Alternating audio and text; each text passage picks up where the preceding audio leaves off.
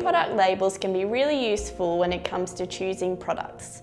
However, a lot of them make some really big claims and how do you know if the product is actually a good choice or if it's all part of a marketing ploy? I'm now going to talk you through some of the common terms that you will see on product labelling and what they may actually mean. The first misleading term you may commonly see is quite a clever one, and it's when products label themselves as being light. Now, immediately we think they're probably lower in calories or in fat. However, often this isn't the case. Often that means that they're just lighter in texture, flavour, or in colour. And this is the case with some oils. The next point is when a product claims that it's baked, not fried. This immediately sounds like a much healthier option. However, it can still be just as high in fat. So it's another one to watch out for. The next one is another really common one, so no added sugar. Now, technically they haven't added any refined sugar to that product, but it doesn't mean that it's not naturally high in a lot of other sugars like fructose. This can be the case with fruit juice. Another really common claim that you'll see on products is reduced fat. Now this doesn't actually mean that that product has a low fat content. What it means is that it's 25% lighter than its standard counterpart of the same brand. So maybe just double check on the nutrition information panel at the back of the product.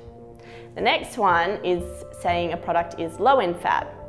Again, this must mean that the product is below 3% fat.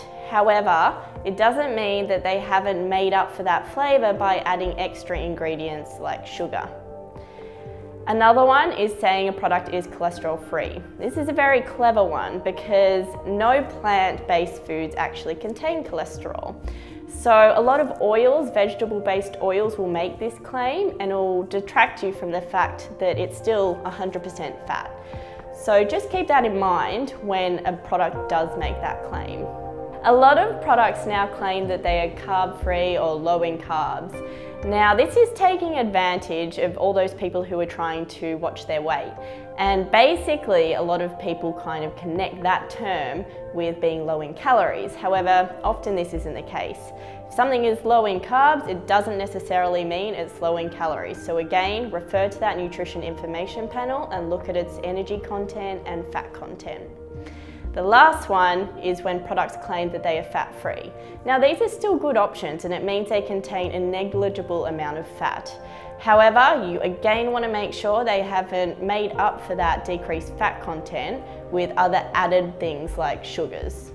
In summary, it's always a good idea to look at the nutrition information panel and ingredients list at the back of each product. This will ensure that the product you're choosing isn't just marketed as a healthy option, but that it actually is a healthy option. And that it's not just low in fat, but it's also low in sugar and sodium. For more information on how to actually interpret a nutrition information panel, see my other video on label reading.